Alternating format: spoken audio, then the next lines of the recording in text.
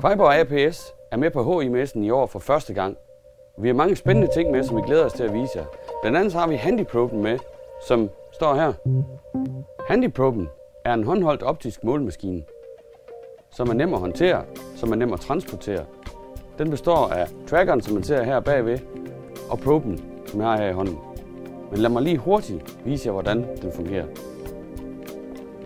Udover at handyproben er let og meget portabel, så udmærker den sig ved at kan måle på emner, som ligger frit, der ikke skal fixeres, men kan håndteres i luften, såvel som her på bordet.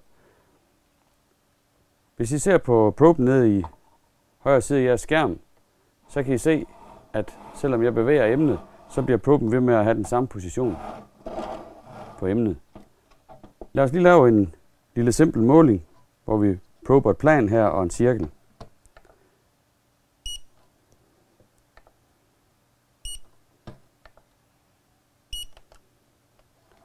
og en cirkel. Jeg tager bare de tre punkter.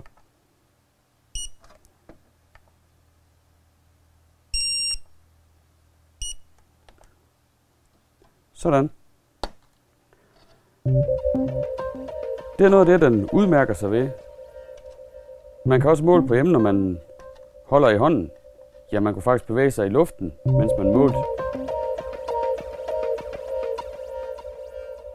Hvis jeg nu er bestemt mig for, at jeg vil måle på den her kone, der er hernede, så kan jeg gøre det, mens jeg kører rundt her.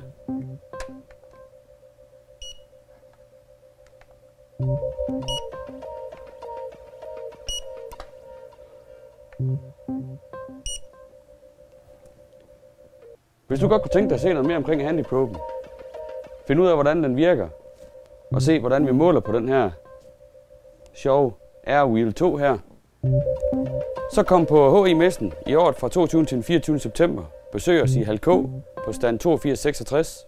Vi ses.